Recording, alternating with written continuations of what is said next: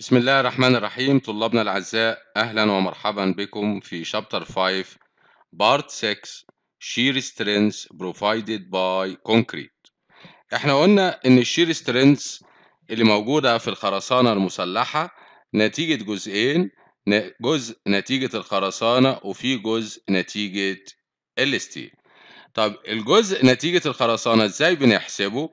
في حالة لو في bending بس على القطاع بنقول إن إحنا عندنا الفورمولا ال Vc بتساوي 2 جذر fc في bw في d اللي هي أبعاد القطاع. الكلام دوت ليه limit المفروض أقل من أو يساوي 3 ونص جذر مقاومة الضغط في ال b web في ال d ده according to equation 11.3 طيب لو إحنا عايزين نكتب المعادلة ب detail شوية يبقى هنا 1.9 جذر fc زائد 2500 في ال rho web اللي هي نسبة التسليح اللي هي عبارة عن ال area steel على ال b web في ال d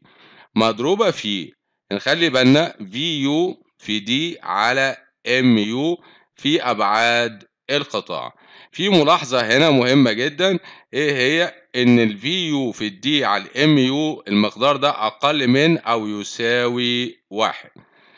في نفس الكلام ال Vc تبقى أقل من أو يساوي تلاتة ونص جذر fc في ال b web في ال d اللي هي نفس المعادلة أو نفس ال limit اللي موجود فوق. طب نكمل مع بعض. لو أنا عندي bending و axial compression يعني القطاع اللي عندي عليه bending وعليه compression فبنقول ال Vc اللي هي ال shear strength اللي أنا هاخدها من الخرسانة بتساوي 2 نفتح قوس 1 plus Nu على 2000 في اي جي المقصود بالاي جي اللي هي ال area gross بتاعة القطاع مضروبة في جذر fc b web في ال d الكلام ده أقل من أو يساوي تلاتة ونص جذر fc b web في ال d في الجذر واحد plus N على خمسمية في ال area gross. N اللي هي ال compression force ونلاحظ الوحدات إن N على ال area gross وحداتها psi نكمل. المعادلة ديت بتقول Mm بتساوي Mu minus Nu في 4 h minus d على 8 برضو لازم يبقى أقل من 3 ونص جذر fc b web في ال d في الجذر بتاع 1 plus Nu على ال area gross وقلنا الوحدات هنا psi لأن إحنا لو غيرنا الوحدات المقدار ده كله بيتغير.